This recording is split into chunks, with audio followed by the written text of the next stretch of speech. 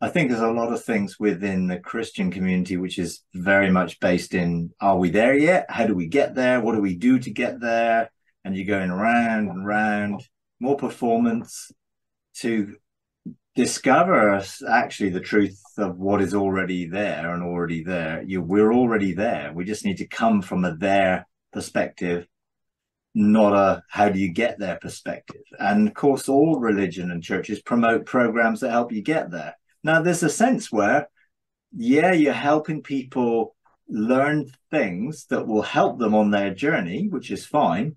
But the reality is, the perspective in which you view things will determine a lot of how that's outworked. And if you view that you need to do things to accomplish something to enable you to get somewhere or be someone, particularly, I think identity is the key um, then you're going to be pressured into performance and be subject to manipulation by others, whether it be church or everything else, for that performance so that you are accepted by God and the church and the denomination. And again, beliefs determine whether you're accepted or not, and behaviors determine whether you're accepted or not and therefore there's a lot of pressure therefore to believe and to behave like the norm. Uh, and we're all uniquely and wonderfully made so that we have a relationship which is independent of our beliefs and our behavior. Now obviously if you have a relationship with god and you are becoming like him by the renewal of your mind then you are going to behave more and more like he behaves. Love. How to love and ultimately, I think that's the key that sets us free. If we know we're unconditionally loved, then we don't have to work for it, which is very challenging to the religious mindset because we've been conditioned to work for something.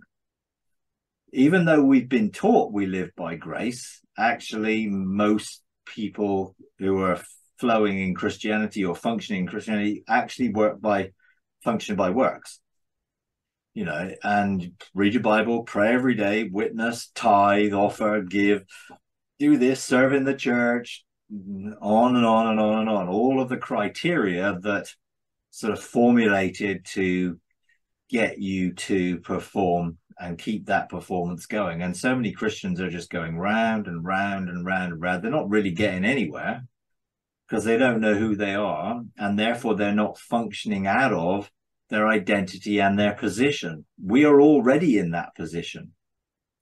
We don't have to accomplish something to outwork that position. We are in that position. Now, discovering our identity, which unveils the position of sonship that we're in, enables us to outwork our sonship. But the opposite has been true. We have to do something to accomplish our sonship. Now, I do believe in maturing and growing, but that comes from our relationship deepening. Therefore, if we deepen our relationship with the Father, we will deepen our understanding of our identity as sons. So it's all relational, um, which means God is not looking for us to do something to enable us to be someone that we already are. He just wants to reveal the vast sum of his thoughts to us so that we'll discover who we already are. Mm.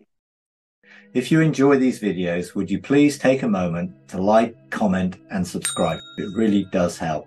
Thank you very much.